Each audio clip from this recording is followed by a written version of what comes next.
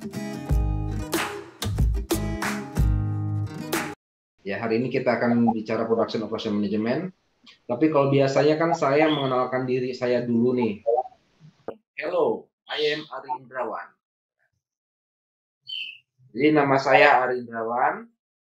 Umur saya sekarang sudah kepala empat, sudah lumayan lah. Anak saya sudah SMA. Sudah SMA.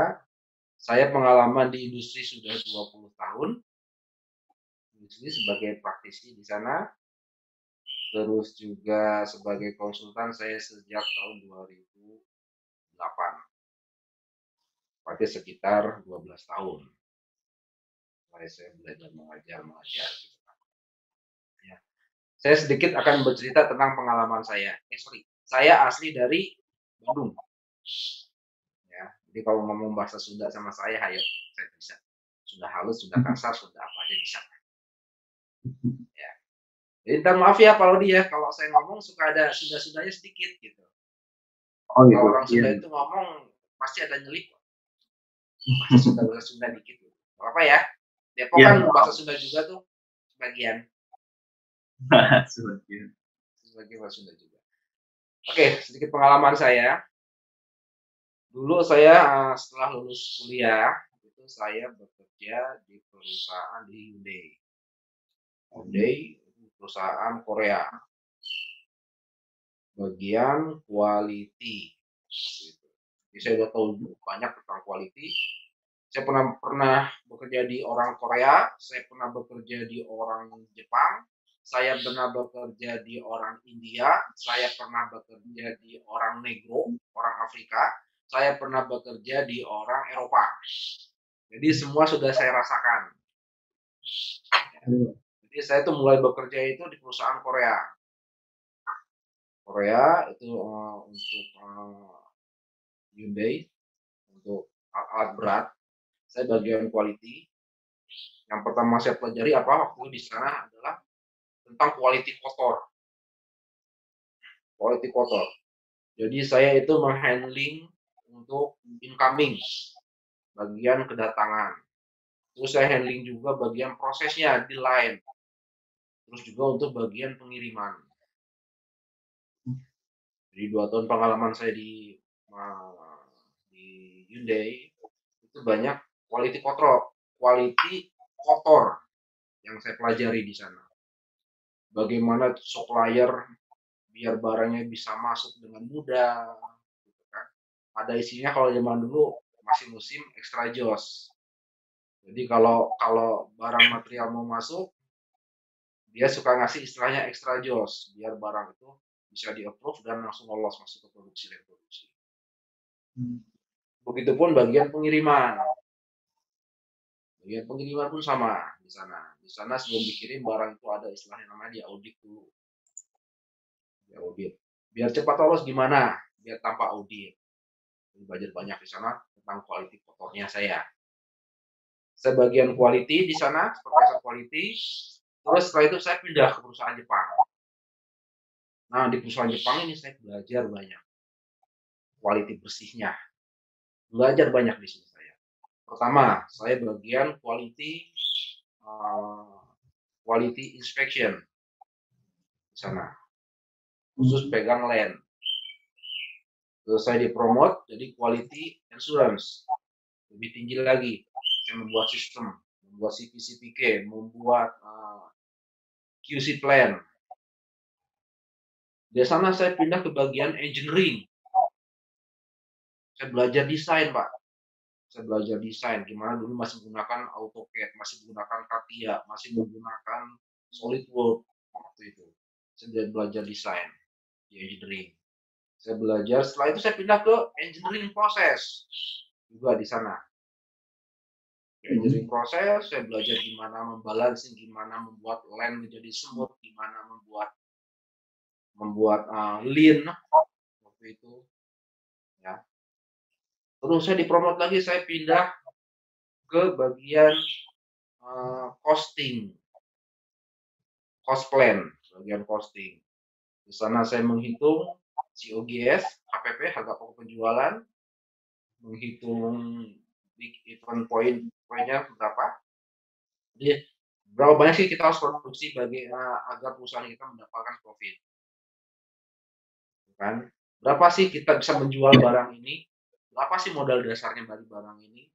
Itu saya belajar juga di sana. Jadi ketika, saya pindah ke setiap bagian itu pasti akan ada training. Saya belajar training, training, training, sangat training ke sini. Ya, di perusahaan itu benar-benar tempat saya untuk belajar. Ya, waktu itu dalam waktu saya kerja di sana itu kurang lebih sekitar sekitar hampir lima tahun saya bisa mengumpulkan sertifikat untuk training itu sampai dengan lebih dari 30 sertifikat hmm. training jadi saya belajar pindah lagi saya belajar saya pindah saya belajar lagi kan? setelah itu kerja dengan orang Eropa Nah, Eropa stylenya bebas. Yang penting bisa dapat output dengan bagus. Kan? Enaknya Eropa seperti itu. Mau datang jam 9, bebas. Yang penting 8 jam. Datang jam 10, nggak masalah. Yang penting outputnya kamu dapat. Nah, di sini saya banyak juga belajar untuk mengimplementasikan apa yang saya pelajari Saya rubah perusahaan Eropa itu. Saya rubah. Saya rubah konsepnya semua saya rubah jadi perusahaan ala Jepang. Eropa tapi serasa Jepang. Saya hmm. terapkan di sana Kanban system. Just in time-nya saya terapkan di sana. Saya terapkan sistem lean-nya di sana. Semua pakai sistem Pokayoke dan lain sebagainya. Hmm. Kaizen-nya saya terapkan. QCC-nya saya terapkan. PDCA-nya perusahaan Eropa ini Nah, pas di perusahaan Eropa ini, saya waktu itu masuk ke bagian uh, bagian engineering. Di sana bagian engineering, saya buat lebih ke prosesnya. Saya punya wewenang untuk merubah proses, merubah desain dan lain sebagainya waktu di sana. Setelah itu saya dipindahkan untuk promote karena ada departemen baru. Saya uh, handling juga bagian untuk PPIC waktu itu. Hmm kontrol material, kontrol inventory, buat planning schedule-nya seperti apa, gitu kan. ukur kapasitas produksi seperti apa. Ini saya punya mesin berapa sih kapasitas mesin ini? Gitu kan. Saya pelajari cycle time-nya, saya pelajari takt time-nya, saya pelajari gimana pergerakan dari mesin itu semua. Nah, setelah itu saya dipromot lagi promote waktu itu saya diminta Anda mau di mana? Anda mau di mana?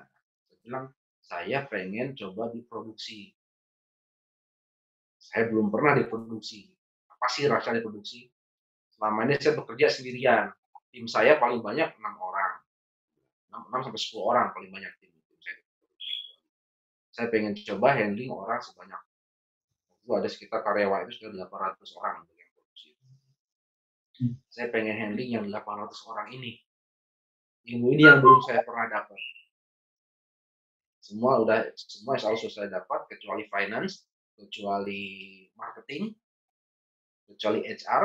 Tapi yang saya belum dapat ini, saya pengen saya belum dapat produksi. Saya pengen gimana saya bisa handling orang segini banyaknya. Akhirnya saya di dia prof, prof waktu saya pindah bagian produksi. Bagian produksi yang bukan apa di sana? Orang tua, orang yang sok pinter, orang yang diem aja, dibilangin susah, dibilang kau bilang A, iya pak, B, iya pak, tapi nggak dikerjain ada juga yang seperti itu, gitu kan? Nah, senior senior yang orang bekerja dengan 15 tahun, 20 tahun orang bekerja di sana, gimana saya harus handling orang ini? Setahun itu saya sempat babak belur pak. Dikerjain habis sama orang tua ternyata apa yang saya dapat selama ke belakang itu engineering. Nggak keren wah apa saya bagian engineering? Keren nih. Saya bagian quality keren. Gitu kan. Saya tahu ilmu saya banyak. Gitu kan. begitu kita hadapi dengan orang-orang seperti itu uh saya bilang kepala saya. Hmm. gitu kan. Ternyata susah menghadapi orang jauh lebih susah. Ya. Saya pelajari, pelajari karakter orang seperti apa, akhirnya saya mepet ke ilmu HR gitu kan. Belajar cara menghandling orang seperti apa. Ya. Ada training, training, training leadership, training, training buat manajemen seperti ini gitu kan. Saya pelajari, saya ikuti, saya pelajari, saya ikuti, saya terapkan. Dan alhamdulillah Pak, waktu satu tahun waktu itu, satu tahun semuanya akhirnya bisa menerima. Dan dulu departemen produksi yang paling acak-acakan, ilmu yang saya dapat dengan pendekatan yang saya pelajari, ini menjadi lean gitu. Dan itu jadi lean, orang bekerja tanpa terpaksa. Orang bekerja dengan enak, orang bekerja dengan enjoy. Ternyata teknik itu tidak tidak mutlak teknik itu bisa kita terapkan langsung diaplikasikan di produksi. Harus ada kita lihat Sumber dayanya apa aja? Itu ada orang di sana. Kita punya orang. Kita punya teknik SMAT, single minute etching of dice. Saya berganti proses penggantian dice yang lebih cepat.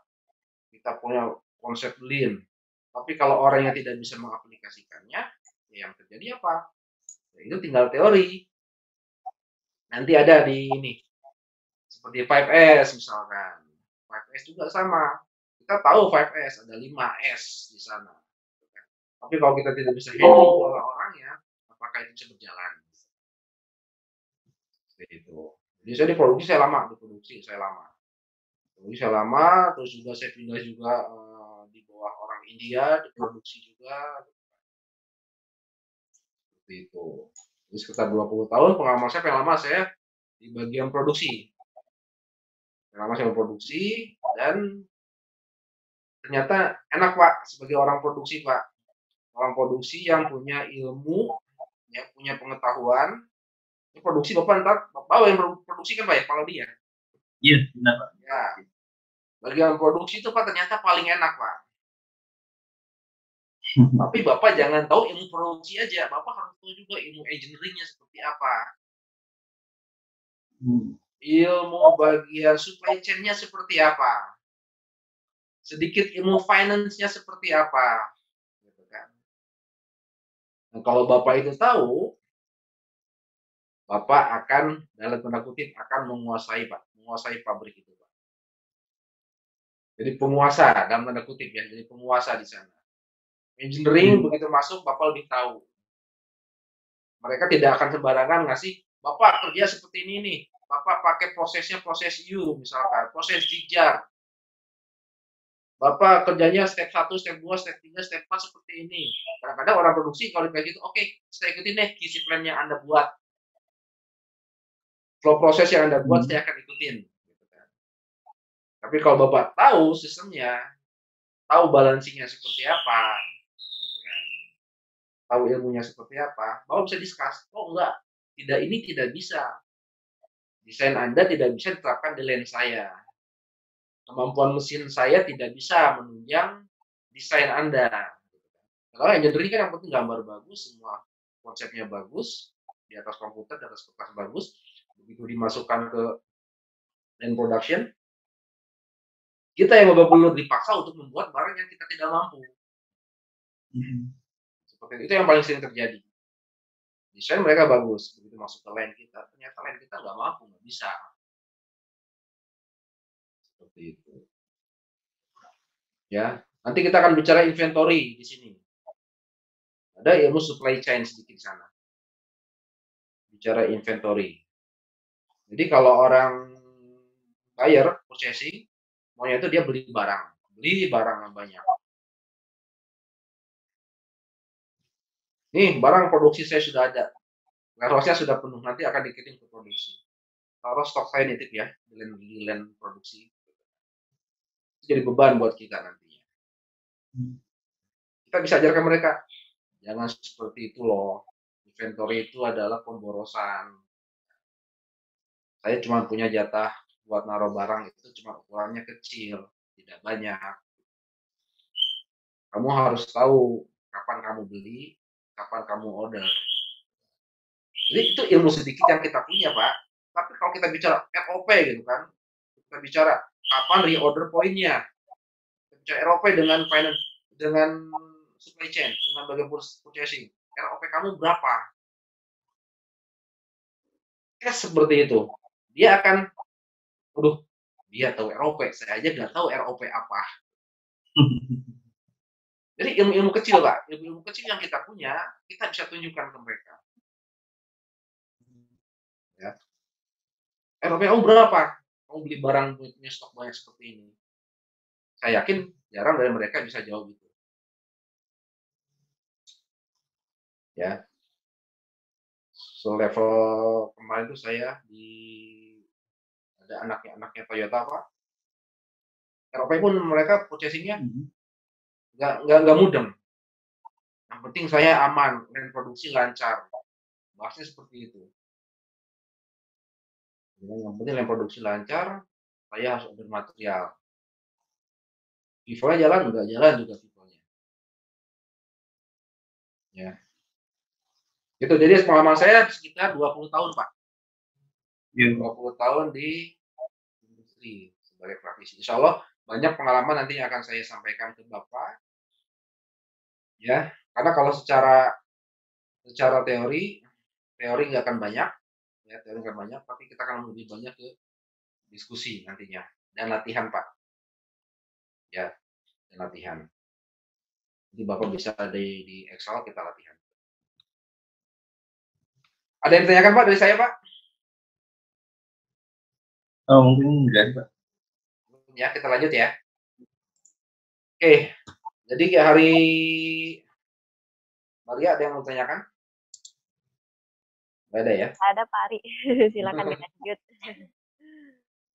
oke jadi hari pertama kita akan bicara tentang konsep operation and production. Kita harus tahu dulu apa sih konsep dari operasi dan produksi ya.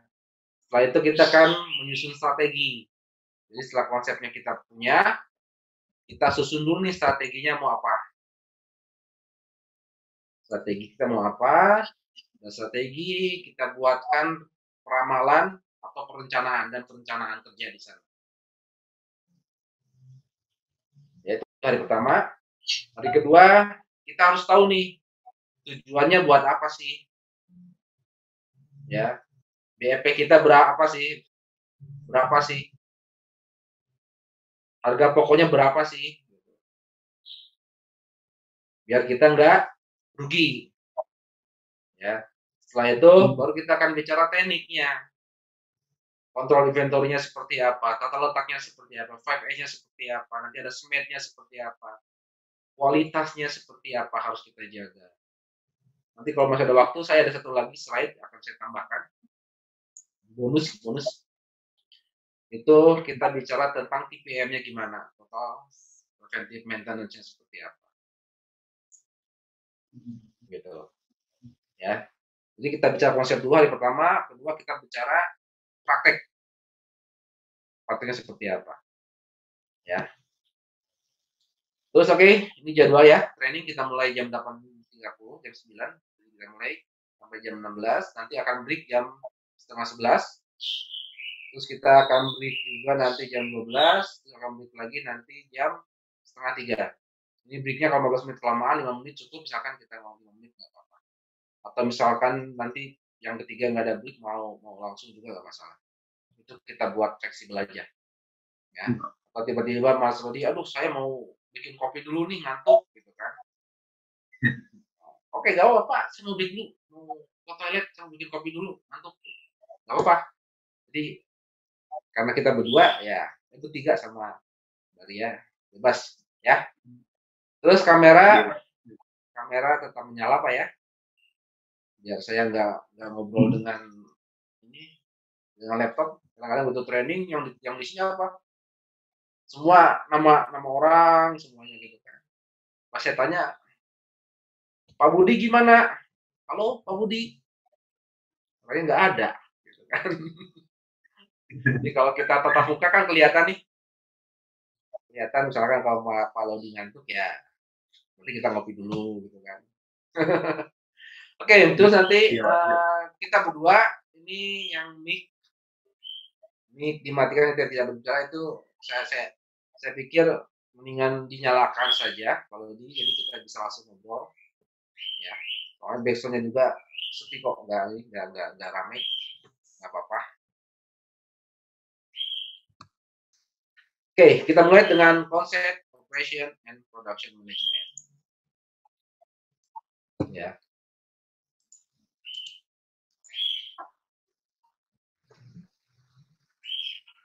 Ada dua pak. Ada operation and production.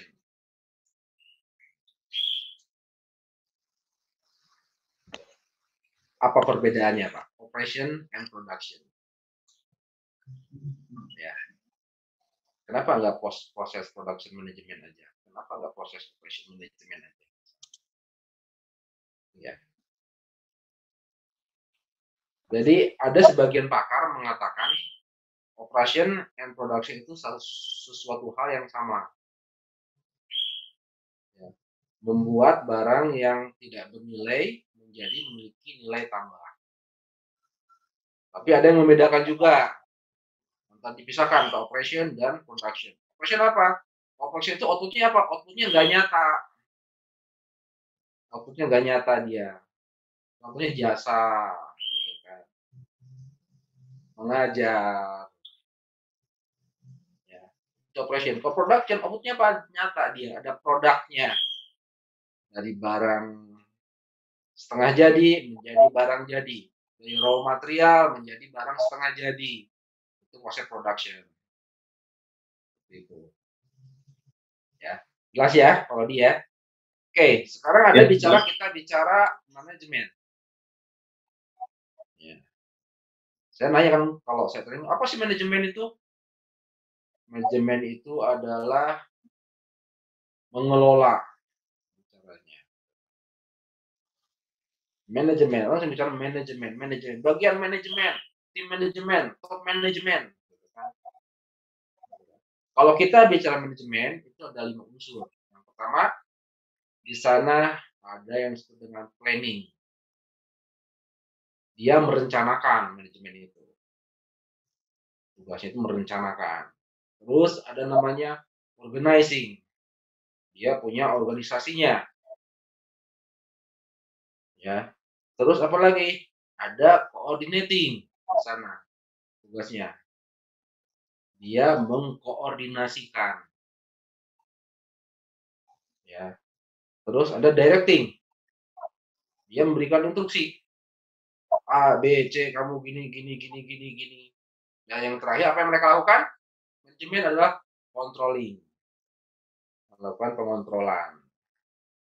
Ya. Jadi kalau bicara manajemen ya ada lima. Lima konsep tadi. Itu sebenarnya dengan manajemen. Bukan hanya manajemen apa mengelola. Memanajemeni, mengelola saja. Apa yang dikelola? Kita kelola. Betul, itu nggak salah. Tapi apa yang dikelola? Perencanaannya dikelola, organisasinya dikelola, gitu kan. Mereka terus uh, orang-orang yang mereka kelola di sana sampai proses pengontrolan mereka menyuruh mereka mengontrol oke kita lanjut ya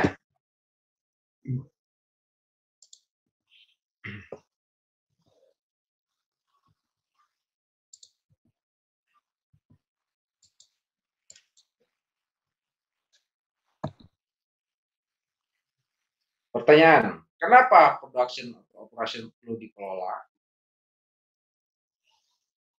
Ya. Kenapa perlu dikelola, Pak?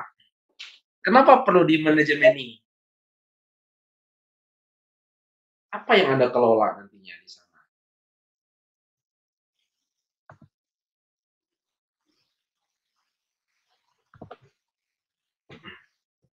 Sejauh Pak Loli, kenapa perlu dikelola? Apa yang Anda kelola? Pertanyaan apa yang Anda kelola? Sebagai Bapak, sebagai produksi nih, apa yang Anda kelola di sana? Kalau saya sendiri sih lebih mengelola ke, uh, ya benar sih kayak hari ini planningnya apa, itu sih yang pertama. Terus di langsung diterapin ke LAN kan, di LAN itu uh, ada member-membernya mungkin yang perlu dikelola juga uh, misalnya ada yang nggak masuk atau perlu pengganti jadi harus koordinasi antar land untuk bisa menggantikan agar uh, produksi itu di land itu bisa berjalan dengan lancar. Ya, betul. Ada kata ininya bagus tadi. Ada kata agar. Jadi apa ya? Apa yang Anda kelola? Tadi Anda kelola apa? Sumber dayanya Anda kelola ya? Ya, sumber dayanya Anda kelola, mesinnya Anda kelola, orang-orangnya Anda kelola gitu kan. Tujuannya apa? Agar kan. Kenapa production process perlu dikelola? Agar berarti kan. Agar sesuai dengan target. Ya, sesuai dengan target perusahaan. Iya. Jadi kita harus fokus tahu dulu nih, kenapa kita harus kelola biar kita dapat target. Ya, kenapa harus kelola agar kita dapat target.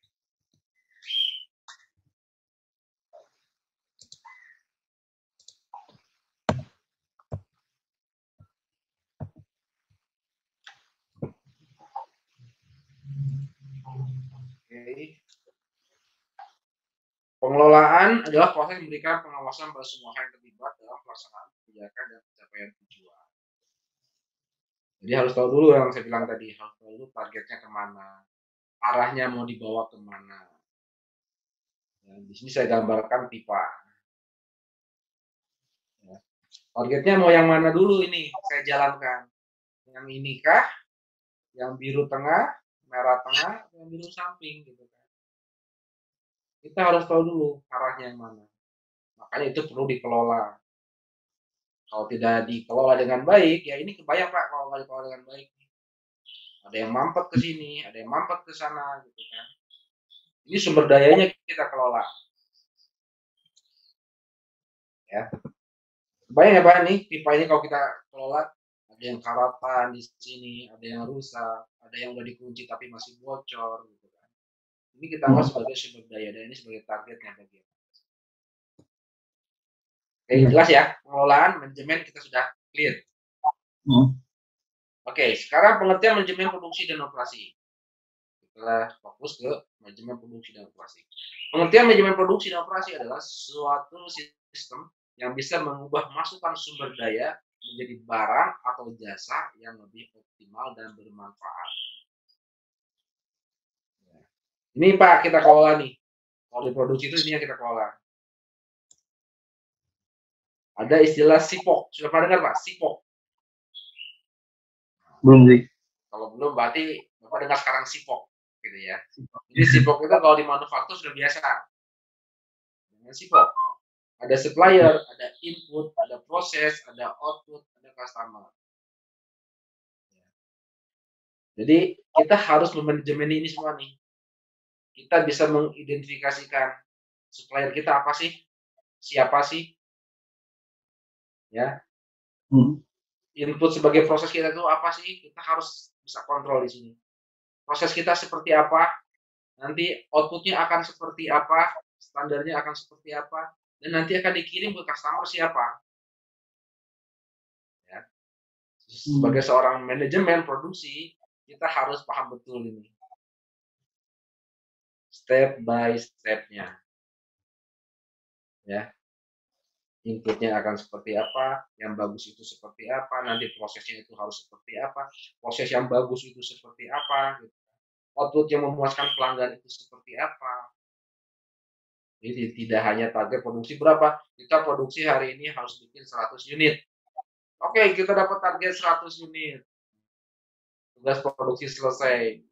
Bagaimana? Customer puas enggak? Enggak, banyak komplain, banyak reject, banyak NG barangnya. Karena kualitinya nggak ngecek sih. Kalau kita kan produksi, buat aja. Konsep orang produksi seperti itu biasanya. Yang penting saya buat, barang target selesai, udah pulang.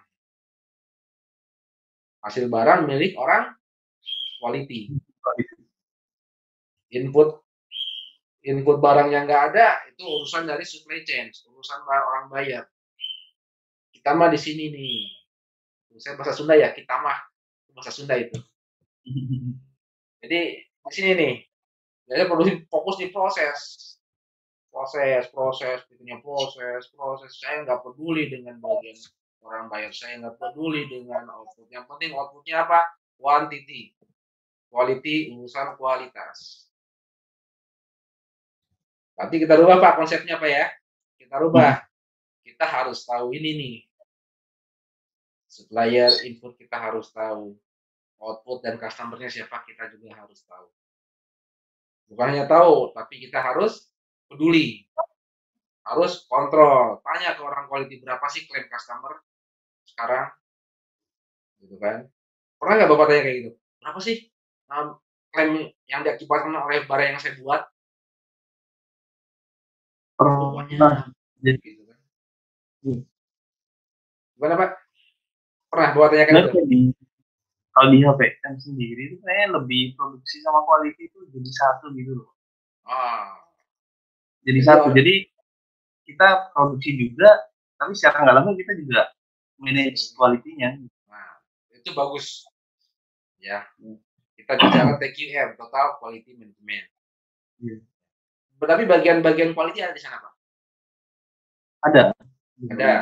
Yang berhubungan dengan customer pasti ada quality. Quality Ada. assurance biasanya kan. Hmm. Pernah nggak Bapak tanyakan di sana, ada nggak klaim dari customer tentang barang yang apa yang saya, barang apa yang saya buat? Ada sih, Mbak. Jadi tercatat dulu sih. Ya. Pasti di diinformasiin kalau ada problem-problem Ah. atau terkait quality-nya yang kurang bagus pasti ada informasi. Jadi produksi itu lebih proaktif nantinya. Iya. lebih proaktif lagi. Klaimnya apa aja sih dari barang yang saya buat ini? Ada gak klaim yang minornya klaim yang majornya apa di sana? Terus juga balik ke belakang inputnya. Dengan dengan bagian bayarnya bagian atau proses sebelumnya. Gitu kan pernah nggak misalkan bapak wah barang saya jelek nih tolong dong kasih barang yang bagus tolong dong kasih barang yang tepat waktu ke saya gitu kan. Hmm. tolong dong jangan banyak-banyak barang yang didorong ke saya asal main kirim aja gitu kan. ini juga bapak perlu kontrol di sini Iya. di produksi itu meliputi semuanya pak ya sipok supplier input proses output dan customer. Ya nanti kita akan belajar di sini ada di outgoingnya juga kita akan belajar yang bagus seperti apa sih? Nah ini menurut teori-teori saya bacakan aja. Kata Pak Handoko nih. Kata Pak Handoko yang disebut dengan produksi dan operasi itu adalah usaha-usaha pengelolaan secara optimal menggunakan sumber daya. Sumber daya ya tadi ya. Foto-foto produksi tenaga kerja mesin-mesin pelatahan mentah dan sebagainya dalam proses transformasi menjadi produk atau jasa. Berbicaranya sumber daya sumber daya. Yang dikelola. Ya terus ini kata si Heiser ini adalah serangkaian kegiatan yang membuat barang dan jasa melalui perubahan dari masukan menjadi keluaran yang berlangsung secara organisasi. Secara teori. Terus kata si Mr. Herianto ini adalah suatu proses yang secara berkesinambungan dan efektif menggunakan fungsi manajemen untuk mengintegrasikan berbagai sumber daya secara efisien dalam rangka mencapai tujuan. Jadi intinya ada input, diproses, dikelola dengan sumber daya yang ada menjadi keluaran output. Nah, proses ini dilakukan secara efektif dan efisien. Ya, efektif dan efisien. Gimana proses kita jadi lebih efisien.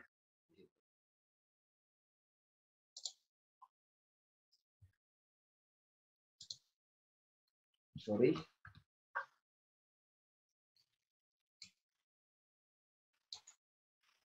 Oke, kegiatan manajemen dan kegiatan produksi dan operasi. Ada beberapa kegiatan. Sini. Pertama adalah pemilihan. Ya. Dalam kegiatan manajemen produksi dan operasi itu adalah ada pertama adalah pemilihan. Kita memilih sebagai orang produksi nih, kita memilih nih, kita mampu nggak buat ini. ada produk MOS misalkan, ada produk MOS. Kita mampu nggak buat ini? Orang manajemen akan menentukan ini kita beli saja atau mau kita buat atau mau kita outsource nantinya. Keputusan buat atau beli. Pedagang eceran atau grosir membeli semua barang yang mereka jual. Usaha manufaktur, restoran, dan perakitan produk membeli komponen untuk jadikan produk akhir. Keputusan buat atau beli, mana yang lebih menguntungkan bagi perusahaan? Ya. Kita harus tahu, Pak, sebagai seorang manajemen nanti di sana apa bikin produk ini produk A produk A ada produk A ada produk B ada produk C gitu ini produk A ternyata menghasilkan biaya dan proses yang lebih besar. Wah untuk produk A ini saya harus melibatkan sumber daya yang lebih besar orangnya harus lebih banyak. Mesin yang kepakai juga lebih banyak gitu kan. Tapi untuk produk B ini sumber dayanya sedikit mesinnya sedikit tapi harga jualnya tinggi. Jadi kita tentukan, ini perlu nggak kita prosesi kita atau kalau mau ini bikin mini aja nih, bikin ribet aja. Aja dia keluar ke sapon, sapon yang buat. Karena melihat situasi lain kita seperti apa, area kerja kita seperti apa, mesin kita seperti apa, orang kita seperti apa di sana.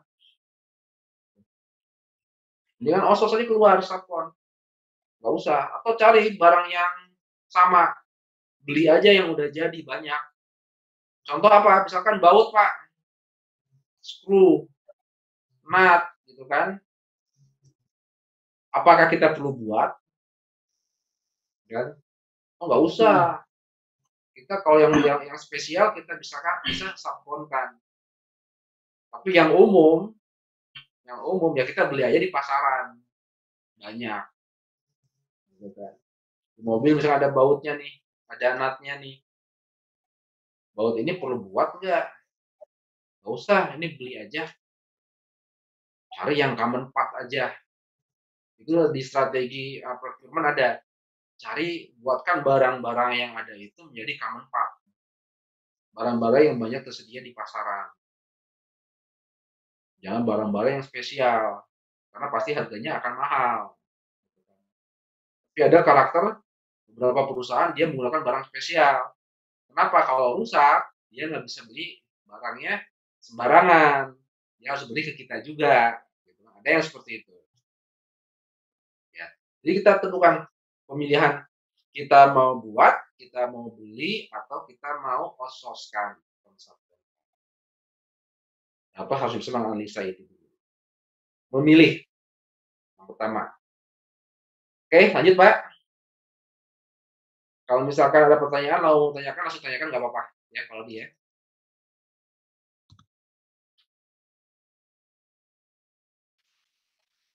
Ini internet saya kayaknya agak agak ini nih. Halo, Pak Lodi, bisa dengar saya? Sebentar ya Pak Ari. Sepertinya sinyalnya Pak Lodi Iya. Oh, sinyalnya Paudi ya? Iya, mohon tunggu ya, Pak.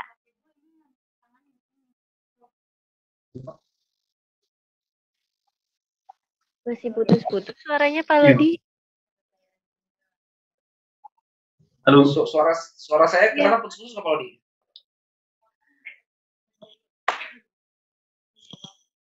Halo Pak Lodi.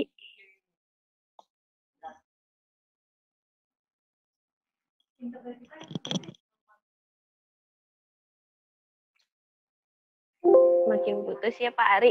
Tunggu sebentar. Ya, silakan silakan. Soalnya Pak Lodi HP kantornya tidak dibawa, jadi saya nggak bisa WA beliau. Oh, Iya. Pak. Iya,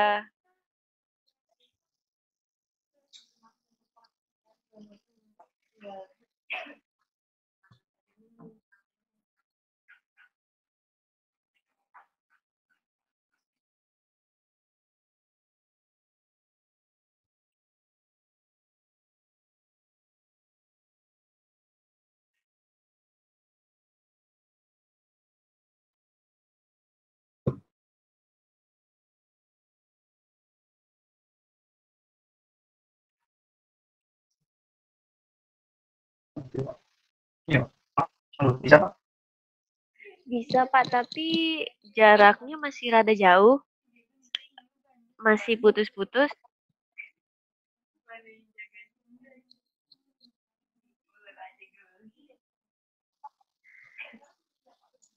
Halo Pak Lodi.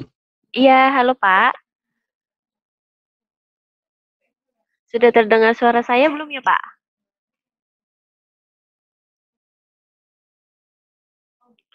belum stabil Pak Ari.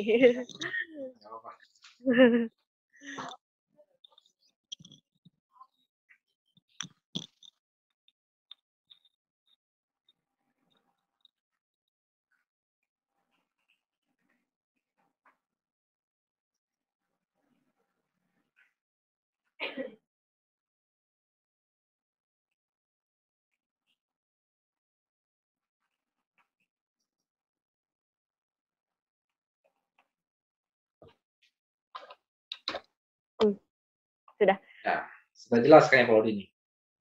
Pak Lodi.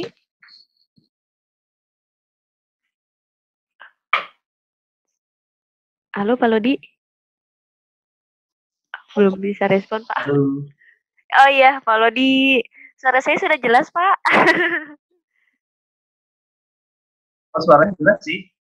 Oh, Cuma iya. Kayaknya yang ada itu ya. Suara saya jelas ya? sudah jelas Pak. Cuman ini apa? Suaranya jelas. Heeh, suara Pak Lodi sudah jelas. Cuman kameranya agak lambat tidak apa. Mungkin sinyalnya Pak Ali ya Pak. Kita lanjut aja kalau di ya. Iya, ya sudah iya Pak. Iya, Pak. suara Pak Ari ya Pak Lodi. Soalnya takutnya koneksi saya yang yang yang lambat gitu. Oke, yang penting yang yang dari saya lancar ya. Iya baik Pak Oke, oke, kita lanjut kalau di. Ya, kegiatannya apa lagi? Kegiatannya yang kedua adalah perancangan. Ya. Ini meliputi keputusan taktikal yang menyangkut kreasi metode-metode pelaksanaan suatu operasi produksi. Ya, perancangan. Kita lihat sumber daya masukannya apa. Ini hampir sama kayak tadi Pak, Sipok.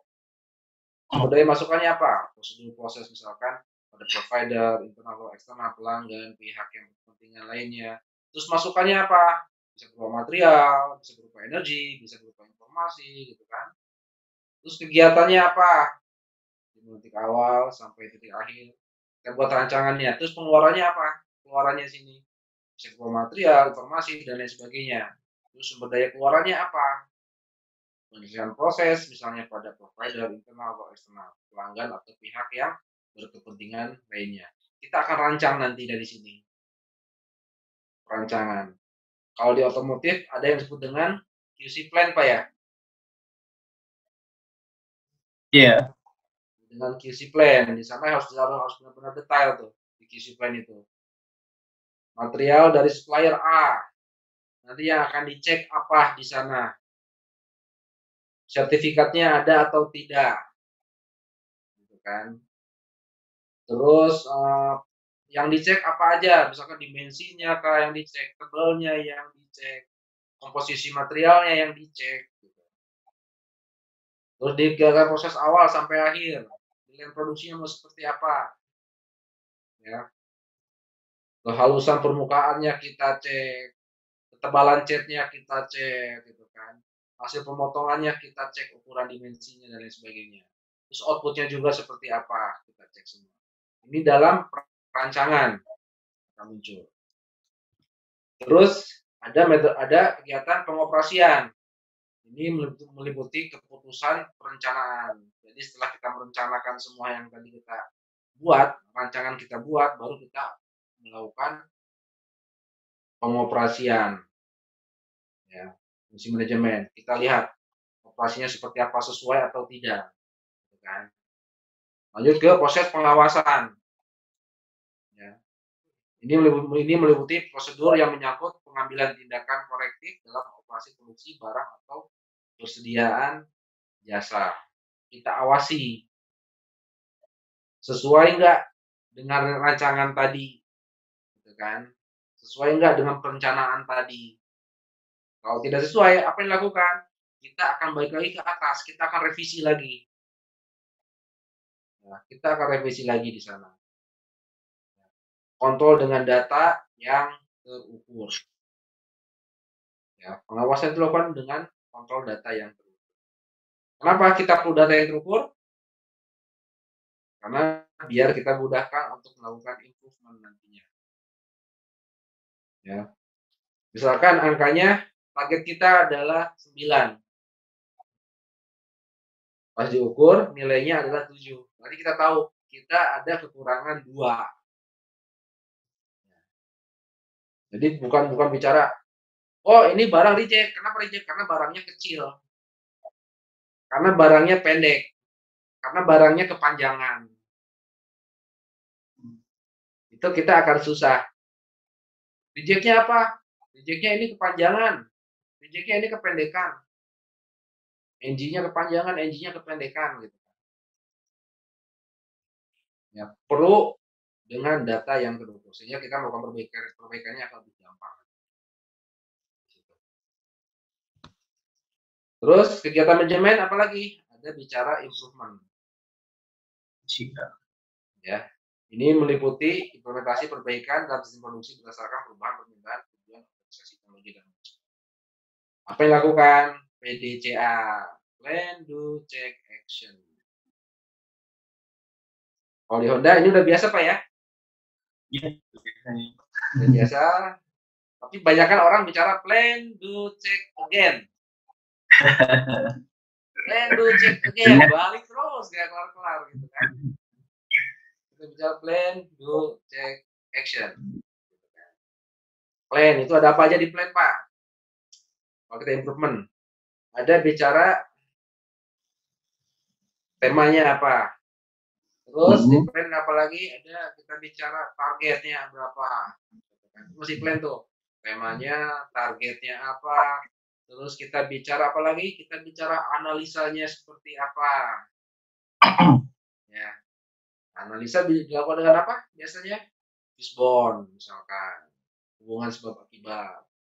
4M. Ya, dengan 4M. 4M, 1E. Ada bicara juga 5M, 1E. Ya, mesin, metode, material, man, ada lagi money, orang bisa pakai, juga tambah lagi E-nya, environment. Hmm. Di sana. Ya. Setelah itu baru kita buat rencana. Setelah kita bisa analisa, kita buatkan rencana perbaikannya apa. Ya. Ternyata ada lima step di situ. Lima step atau empat step itu di situ. Baru plan. Plan itu bukan begitu ada masalah. Oh, ini barangnya kurang panjang. Barangnya kurang panjang. Oke, kita bakar rencana. Mesinnya akan disetting agar barangnya sesuai. Itu plan, benar itu plan. Tapi pengukurannya yang salah. Itu cuma langsung selesaikan hari itu. Tapi kita nggak tahu kenapa sih barang ini yang harusnya ukurannya 9 ini menjadi 7. Itunya kita nggak dapat. Hmm. Karena kalau kita plan, oke okay, kita ukur setting, kita balikin mesinnya ke ukuran 9. Benar, hasil sepotong jejit, hasil potong hanya berapa? 9. Buat berapa lama dapat barang itu dengan ukuran 9? Karena kita kita udah tahu root cause-nya ada di mana. Ya. Hmm. Tapi kalau kita memplanningkan dengan baik, plan itu di sana ada targetnya, ada root cause-nya di sana kan untuk menganalisa sumber masalahnya ada di mana. Ternyata apa? Sumber masalahnya di sana Pak, bautnya longgar. Bautnya longgar, masalah bautnya longgar. Begitu Bapak setting ke angka 9, bautnya sudah nggak longgar dan itu berjalan akan 9 terus hasilnya. Ya. Tapi kalau Bapak tidak analisa, balikan lagi mesin itu angka 9, balikan lagi mesin itu angka 9. Potong hasilnya 9. Yang kedua, yang ketiga, yang keempat, yang kelima balik lagi ke 7 hasil. Mending kalau kita akan mengontrol, ternyata kita tidak melakukan kontrol apa yang terjadi, barang terkirim ke proses berikutnya, barang terkirim ke customer. Lebih bahaya. Ya. Nah itu Pak. Itu. Itu masih sering kejadian sih Glenn. Apa? Masih seperti itu. Iya. masih ada. Penting ya di plan, begitu kita bicara PDCA, plan, ya plan cuma satu plan gitu kan. Jangan bicara plan cuma satu, plan itu susah ternyata. Kita harus bisa menganalisa itu. Diagram fishbone, diagram tulang ikan kita temukan dengan proses 5Y. Y1, Y2, Y3, Y4, Y5. Bermasalahnya apa? Kenapa ini tidak bisa dapat angka 9? Gitu kan? Karena mesinnya berubah. Kenapa mesinnya berubah? Karena tidak pernah dicek. Satu. Kenapa mesinnya berubah? Karena mesinnya bergerak sendiri. Kenapa mesinnya bergerak sendiri? Ketika kita cek, ternyata bautnya ada yang longgar. Berarti inti masalahnya apa? Bautnya longgar. Kita harus kencangkan bautnya. Kencangkan bautnya. Hasilnya pasti insya Allah akan 9, 9, 9, 9. Ya, jadi nggak kelihatan langsung begitu. Potong 9, ya udah, saya tinggalin 9. Ya balik lagi ke angka 7 nantinya. Setelah itu baru kita lakukan action, do. Do itu apa? Actionnya, tindakannya. Kencangkan bautnya. Siapa yang mengencangkan bautnya? Maintenance kita atau siapa di sana yang mengerjakan bot. Terus lakukan improvement lagi, gimana biar bot ini tidak kembali kendor. Gitu kan, go. Terus cek. Cek itu apa? Cek itu adalah evaluasi hasilnya. Cek lagi setelah satu jam berubah nggak? Setelah dua jam berubah nggak? Setelah tiga jam? Setelah satu hari? Setelah satu minggu itu berubah nggak? Turun lagi nggak ke angka 7 mesin tadi. Itu evaluasi. Kalau ternyata turun lagi Pak nih setelah tiga jam balik lagi. Balik lagi kita ke plan lagi, analisa lagi. Ternyata bukan hanya baut, bisa aja yang lain terjadi di sana. Ternyata masalahnya emang baut, gitu kan. Setelah seminggu, dua minggu, ini tidak pernah ada perubahan. Oke, kita buatkan dia menjadi standarisasi baut harus dikenyangkan dengan sekian torsi.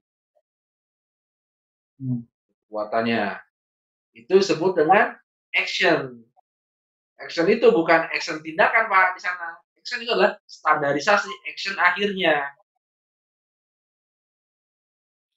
Ya orang bicarakan plan rencanakan setelah merencanakan terus melakukan terus diperiksa terus di action. Karena bingung action apa kan udah do do sama action sama-sama melakukan gitu kan.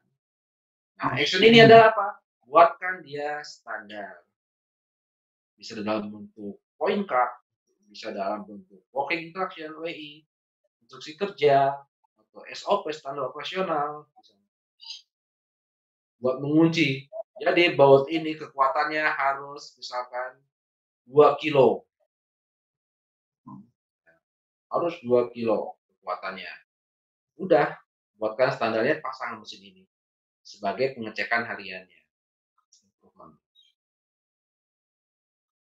Oke ya, lanjut. PDCA.